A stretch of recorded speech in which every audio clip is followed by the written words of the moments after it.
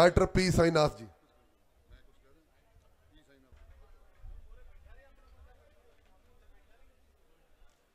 मैं पी साईनाथ हूँ, मुंबई से आया हूँ आपके साथ रहने के लिए। पहली बात यह है, मैं आप लोग को धन्यवाद देना चाहता हूँ। आपकी संघर्ष की वजह से देश जानते हैं कि एक कृषि मंत्री है और उसका नाम है नरेंद्र तोमर। उसके पहले हम सब समझते हैं कि सिर्फ़ दो आदमी देश को चला रहे हैं। अभी दो दो, नाम और आया नरेंद्र तोमर। अभी भी महाराष्ट्र में लोग पूछ रहे हैं कि ये किस चिड़िया का नाम है, है? और सिर्फ़ दो आदमी जो आप जो देश को चला रहे हैं अभी ये तीन कानून संसद में पास कर दिया। कंसल्टेशन कुछ नहीं हुआ। आप लोग बार बार मांगा कि हमसे कंसल्टेशन करो, हमसे बात करो। लेकिन ये तीनों कानून पास करने के बाद आ रहा है, बात करने के लिए और बोल रहा है कि हम बिल्कुल तैयार है सरकार। कंसल्टेशन के लिए नेगोशिएशन के लिए हम बिल्कुल तैयार है। अरे यार, आपने कानून में मौत की सजा पास कर दिया और अभी कंसल्टेशन हो रहा है कि आप आपको फांसी दू या गोली से मारो यह है कंसल्टेशन मौत की सजा तो पास हो गया संसद में, है? तो अभी क्या कंसल्टेशन करेंगे उसके बारे में?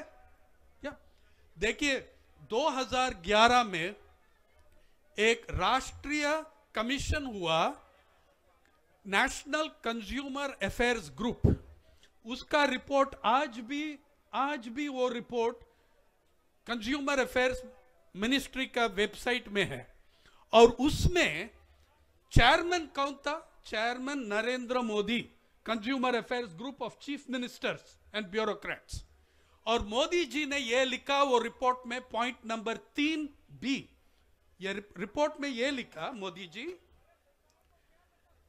इस देश में ऐसा एक कानून होना चाहिए कि एमएसपी के नीचे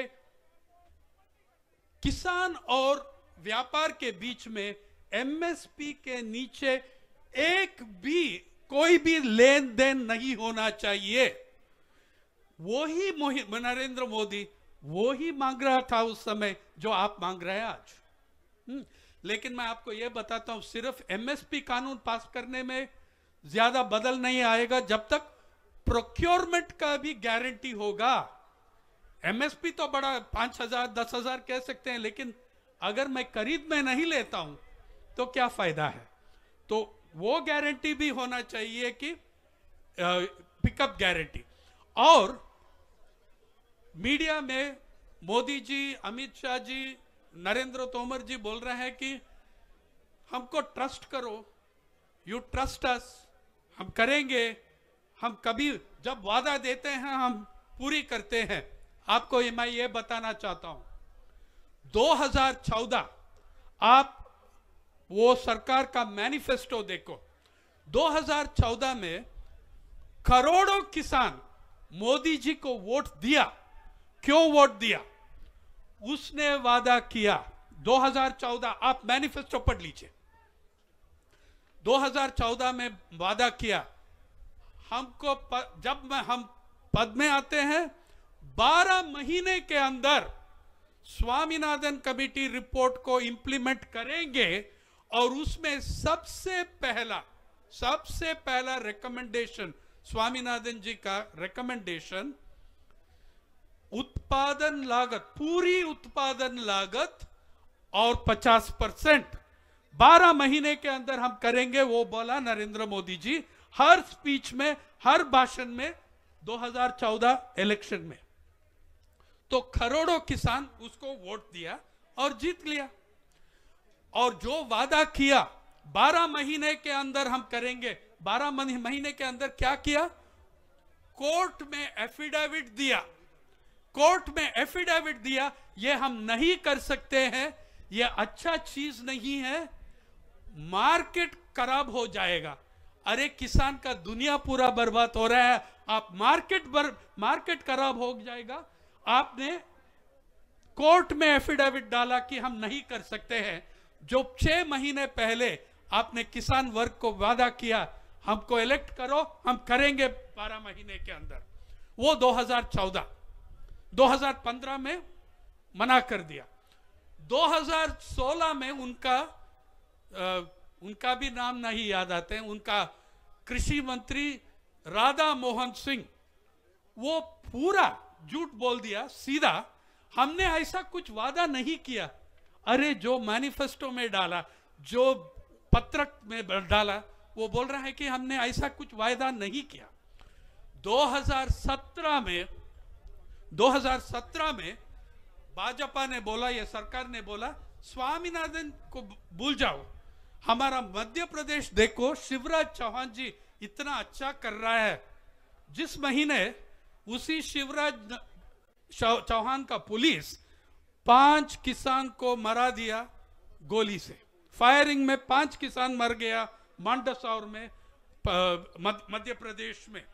और 2018 में वित्त मंत्री अरुण जेटली साहब बजट स्पीच में, बजट भाषण में, पैराग्राफ, आप देखिए बजट में पॉइंट नंबर तेरह और पॉइंट नंबर चौदह। उसने लिखा है कि हाँ वादा किया और पूरा भी कर दिया।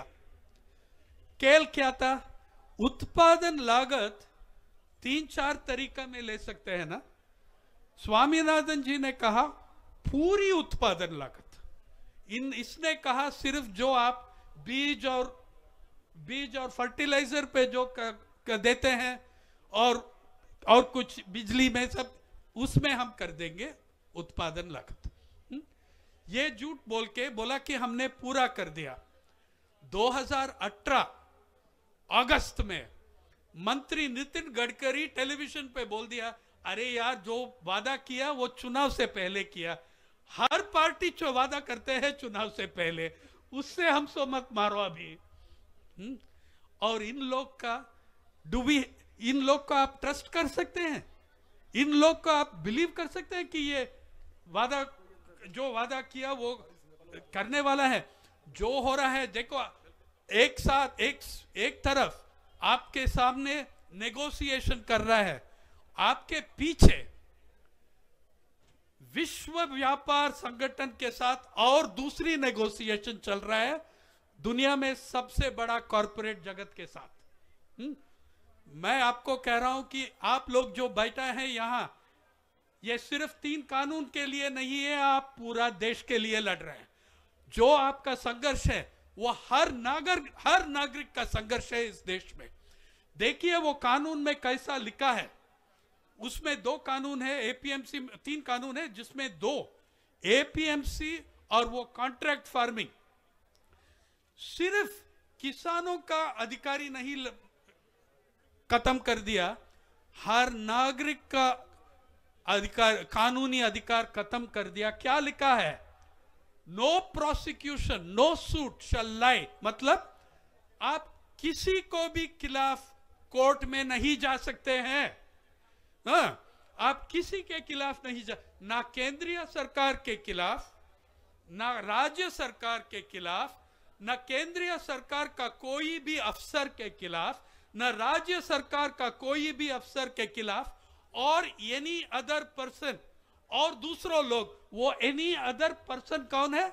कॉरपोरेट जगत। उनके खिलाफ भी। सिर्फ़ आप नहीं जा सकते हैं, मैं भी पीआईएल नहीं डाल सकता हूँ। मना कर दिया, कोर्ट का जूरिस्डिक्शन नहीं है इसमें। यह है कानून। हर नागरिक को इफ़ेक्ट कर रहे हैं, सिर्फ़ सिर्फ़ हम, हमारे लिए नहीं, लेकिन आप लोग हमारे लिए भी लड़ रहे हैं। और और एक चीज़ के लिए आप लोग लड़ रहे हैं अगर आपका संघर्ष फेल होगा, समझो, इस देश में पीडीएस खत्म हो जाएगा अगर ये युद्ध किसान के खिलाफ जाएगा, पूरा पब्लिक डिस्ट्रीब्यूशन सिस्टम पीडीएस वो खत्म हो जाएगा हुँ? हम्म? और किसके हाथ में जाएगा वो कॉरपोरेट जगत के हाथ में जाएगा। तो आप मैं कह रहा हूँ कि आप आ, कानूनी अधिकारी के लिए ये तीनों कानून वापस ही लेना पड़ेगा। उसका उसके अलावा कोई तरीका नहीं है। और आप आखिरी में अंत में आपकी लड़ाई कॉरपोरेट जगत के खिलाफ है। सिर्फ़ ये तीन कानून नहीं। कॉरपोरेट जगत के खिलाफ है जो हर किसान का, हर किसान का फ़सल उनके हाथ में नहीं, न जाने का। थैंक यू बहुत बहुत धन्यवाद। और किसान मजदूर एकता जिंदाबाद।